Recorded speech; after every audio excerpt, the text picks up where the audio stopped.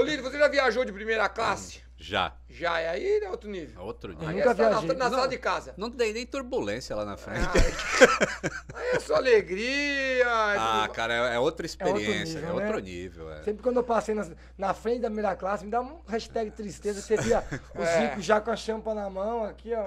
Agora- Espaço de perna, Passo com as pernas esticadas, que tristeza. vira a cama. E É. sei lá Mas com eu- aquele travesseirinho aqui. É, você não consegue nem. Eu não consigo, eu não consigo dormir em viagem. Eu não consigo. É? Dormir não eu- interessa. Eu- Mas você eu- já foi de primeira classe? Não, É é por isso. Também, né? Sou, eu sou humilde. Exatamente, vai que Humilde. Ali você deitou e tchau, ó. Isso é um detalhe muito importante, exatamente. Não consigo lá.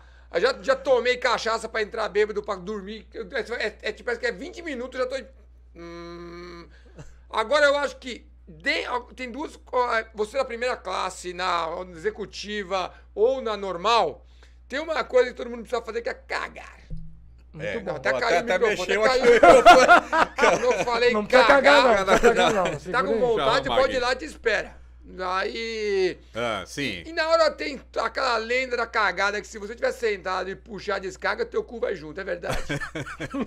Antigamente podia acontecer. É. Mesmo? É, Podia mesmo, mesmo. mesmo. Que aí, Podia ou já aconteceu? Já aconteceu, mas Então, né, se estão falando, né? Alguém já, perdeu o cu. já aconteceu. Hum. Porque assim, logo que começou esse sistema de vácuo, que aquilo ali é vácuo que puxa, né? Sim, é, é um, É, é um negocinho de barulho, velho, teflon. Dá, medo aquilo lá. É um negocinho de teflon pra não grudar, né? A argamassa ali.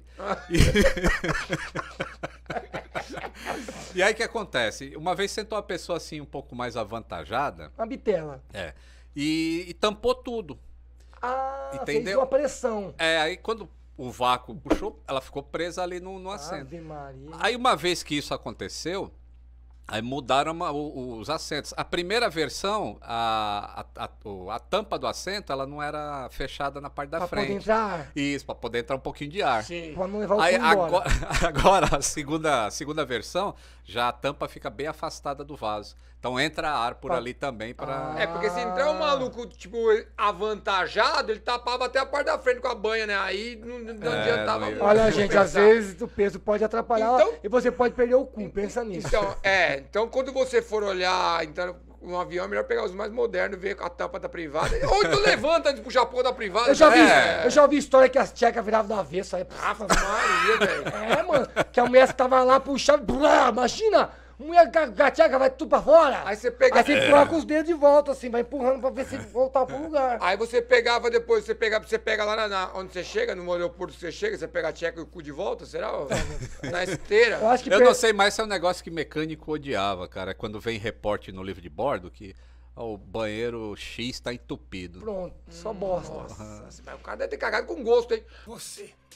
Vai morrer até Natal. Você que não vai morrer até Natal, acabou de assistir um corte oficial do canal de cortes oficiais de Toma Cast. E aproveita e também vai assistir os episódios completos do nosso canal no YouTube Toma Cast.